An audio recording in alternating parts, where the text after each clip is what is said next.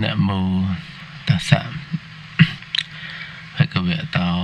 អរហតោសម្មាសម្ពុទ្ធស្សៈនមោតស្សៈភគវតោរតោសម្មាសម្ពុទ្ធស្សៈ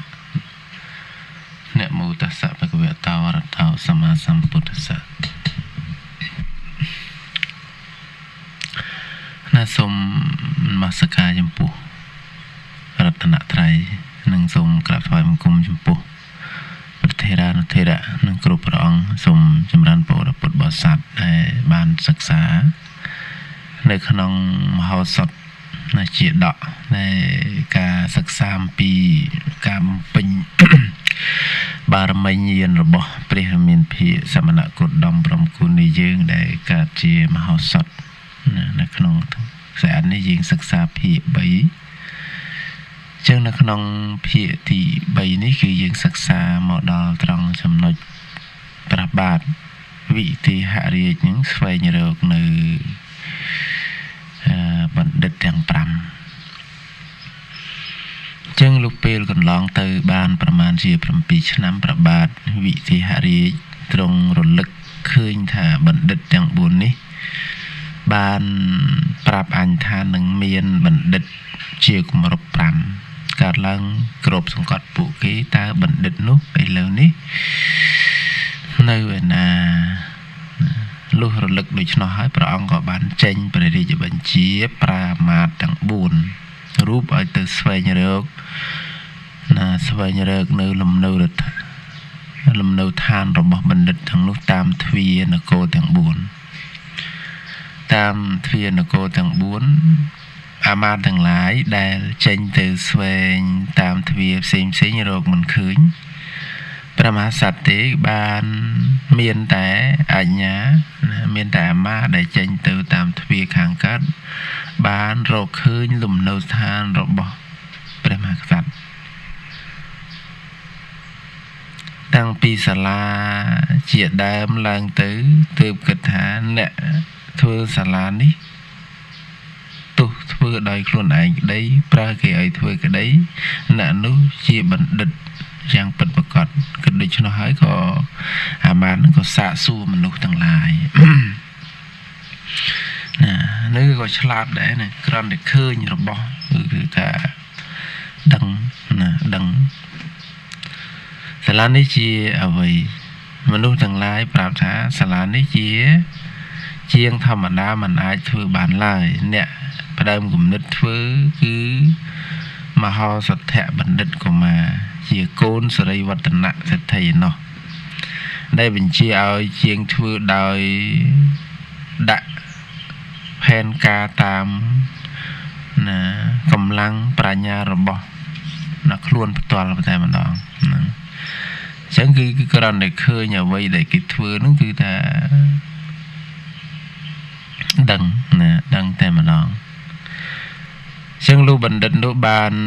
អាយុប្រមាណដែលសាកសួរអាមាត្យទៅសាកសួរមនុស្សទាំងឡាយហ្នឹងថាឥឡូវនេះបណ្ឌិតកុមារហ្នឹងមានត្រឹមតែអាយុ7ខួបណាមានសមត្ថភាពតែប៉ុណ្្នឹងហើយណាបានរៀបពេលដែលព្រះរាជាសុបិនមើលទៅឃើញថាបណ្ឌិតនេះត្រូវគ្នានឹងសុបិននិមិត្តរបស់ព្រះរាជាមែន ដូច្នោះគាត់ក៏បានបញ្ជូនទូតម្នាក់ទៅទូតអ្នកដែលនាំសារទៅក្រាបទូលព្រះរាជាហ្នឹងណាបបិទ្ធសមត្ថិទេពកូនប្រុសរបស់សិរីវឌ្ឍនៈសិទ្ធិក្នុងស្រុកបាចិនក្រៀមគឺពេញលក្ខណៈជាបណ្ឌិតពិតប្រាកដមែនកុមារនោះឈ្មោះថាមហោសុតឥឡូវនេះអាយុ7ឆ្នាំគត់ អ្វីបើគេនៅក្មេងតែគេចេះចាត់ចែងផែនការឲ្យជាងសាងសង់សាលាដល់ប្រណិតព្រមទាំងស្រះបោកករណីនិងឧសៀនដល់វិចិត្របែបនេះទូព្រះបង្គំជាខ្ញុំនឹងនាំយកបណ្ឌិតកុមារនេះទៅកលព្រះអង្គចឹងអាការរៀបរាប់ឃើញថាមនុស្ស ដែលមានសមត្ថភាពមែនណាអញ្ចឹងទៅក៏និយាយពីសេនកបណ្ឌិតបដិសេធការនាំបណ្ឌិតទី5ណាចូលព្រះរាជវាំងសេនកបណ្ឌិតហ្នឹងហើយក៏បីជ្រាបសិក្សាថាព្រះបាទវិទេហរាជនឹងទ្រង់ព្រះសម្ដាប់នៅសេចក្តីថ្លែងនោះហើយមានព្រះតីត្រេកអរណាស់ បង្កប់ឲ្យគេទៅអញ្ជើញលោកបណ្ឌិត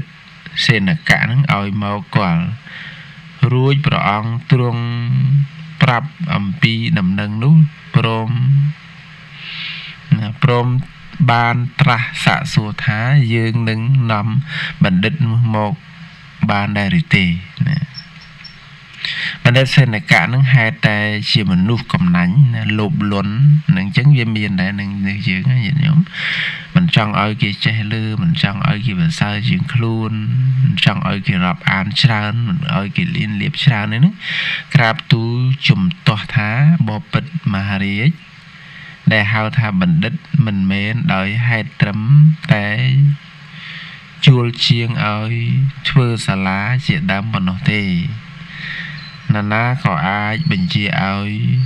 ធ្វើសាលាជាដើមនោះបានដែរការនោះជារឿងតូចតាចណាស់ចឹងព្រះបាទវិទេហរាជនឹងក៏ទ្រង់ព្រះសម្ដាប់សម្ដីរបស់បណ្ឌិតសេនកៈនឹងទៅរួចហើយក៏ទ្រង់គង់នៅស្ងៀមដោយនឹកថាជាជាមានហេតុការអ្វី ក្នុងរឿងនេះពំខានទេដូច្នោះហើយក៏ទ្រង់បញ្ជូនទូតម្នាក់ត្រឡប់ទៅវិញឲ្យទៅជំរាបអាមាត្យថាចូលអ្នកនៅទីនោះសិនចុះហើយត្រូវការសាកលបងបណ្ឌិតនោះតទៅទៀតរីឯអាមាត្យឬព្រះរាជបន្ទូបង្កប់ដូច្នោះក៏ស្នាក់នៅក្នុងទីនោះទៅហើយសាកលបងបណ្ឌិតមហោសថកុមារ តទៅទៀតទេនោះនេះគឺសាកអញ្ចឹងដោយសារស្ដាប់សេនកៈគាត់វាជាបណ្ឌិតចាស់ហើយធ្លាប់នៅជាមួយព្រះរាជាច្រើនអញ្ចឹងទៅក៏គាត់និយាយអញ្ចឹងទៅក៏ព្រះរាជានឹងសង្ស័យដែរថាធម្មតា7ឆ្នាំហើយទៅបញ្ជាឲ្យគេធ្វើធម្មតាជាងគេចេះធ្វើហើយណាហ្នឹងគឺសង្ស័យអញ្ចឹងអញ្ចឹងនៅក្នុងសាស្ត្រនេះយើងសូមញាតិញោមពុទ្ធបរិស័ទនៅក្នុងភាគទី3នេះសូមបញ្ចប់តែប៉ុណ្ណេះហើយកុំភ្លេចសិក្សានៅក្នុងចំណុចគេហៅថាចម្ពោះទី2នេះមហោសថកុមារនឹងមានអាយុ7ឆ្នាំដោះប្រាថ្នា7ខនឹងជាដើមនឹងយើងនឹងសិក្សាបន្តទៅទៀតបន្តពីទំព័រទី10ទី20ណាទី20ឬក៏19ហ្នឹងឯង ជាងនៅក្នុងសាអត់នេះសូមបញ្ចប់តែប៉ុណ្ណេះហើយសូមពុទ្ធបរិស័ទណាប្រុសស្រីទាំងអស់ណាត្រេកអរសិក្សានៅពុទ្ធប្រវត្តិដែលយើងបានសិក្សាបន្តបន្តរហូតមកដល់ថ្ងៃទី11ខែ5គ្រិស្តសករាជ2022នេះចិត្តដល់ថ្ងៃវិសាខបូជាហើយញាតិញោមពុទ្ធបរិស័ទណាប្រស័យណាដើម្បី បានជាប្រយោជន៍នៅក្នុងការស្ដាប់សុសុសង្លបតិបញ្ញាការស្ដាប់ដោយល្អរមែងបាននៅបញ្ញា បញ្ញាជីវឹងជីវតសេដ្ឋាំងណារស់នៅប្រកបទៅដោយបញ្ញានឹងជាការប្រសើរជានៅក្នុងខ្សែអត់នេះសូមបញ្ចប់តែប៉ុណ្ណេះសូមក្រាបថ្វាយបង្គំលានិងចម្រើនពរលា